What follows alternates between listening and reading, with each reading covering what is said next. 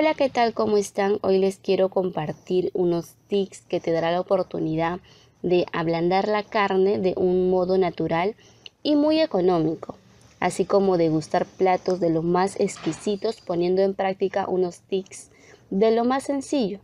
Para ello vamos a utilizar dos vasos de leche, un cuenco, servilletas de papel. Primero vierte los dos vasos dentro de un recipiente grande y luego a ello introduce la carne en su interior.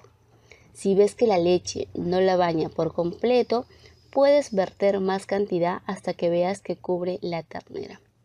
Para que este truco de salud casero resulte efectivo, será importante que la ternera repose en la leche durante unas dos horas.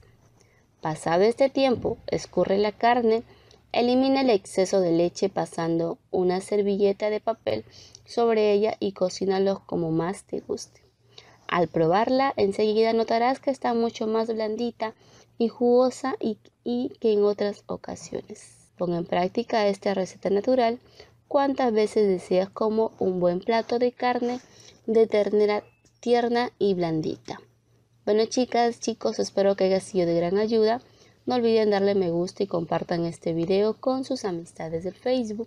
Si conocen alguna receta casera, no olviden compartirlo en los comentarios. Hasta luego, cuídense.